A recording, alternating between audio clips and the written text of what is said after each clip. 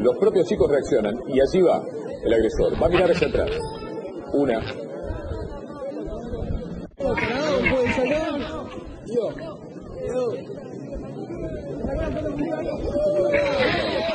ahí está.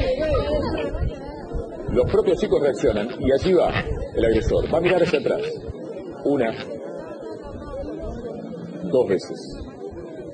Esto fue lo que pasó, la agresión, la tensión y el escape, la huida. Así escapaba el adolescente segundos después de haber golpeado la cabeza a Leo Messi. El tumulto se había generado cuando el crack aceptó sacarse fotos con los hinchas de muy buen humor y se convirtió allí ese el escenario ideal para una agresión cobarde, absurda, inentendible. Bueno, el joven, el chico ya fue identificado por sus compañeros de colegio que, claro, le reprocharon a los gritos la actitud que había tenido. Pues se trata prácticamente de un adolescente, ¿no? Que se va corriendo como si hubiera hecho una travesura, pero en cuestiones de seguridad no es, es mucho más que una travesura. Lío siguió hablando con los chicos, siguió sacándose fotos y después ahí lo vemos.